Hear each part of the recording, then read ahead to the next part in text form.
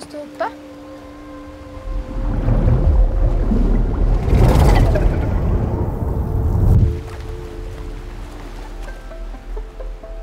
Da jeg ble født, så kunne Todd gå. Og da jeg kunne gå, så kunne han sykle. Han har liksom to års forsprang hele veien.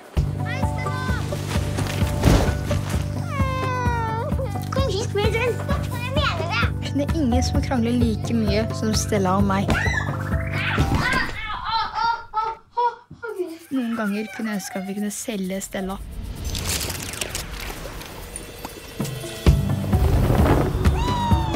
Innimellom ser fantasien min ting som ingen andre ser.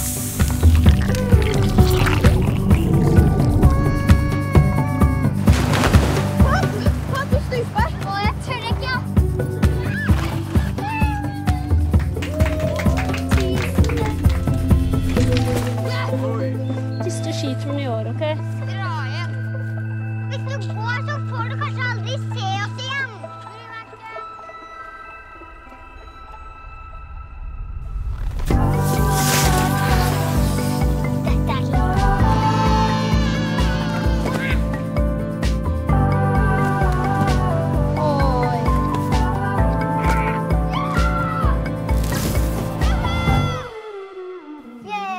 Supert. Dette blir jo bare verre og verre.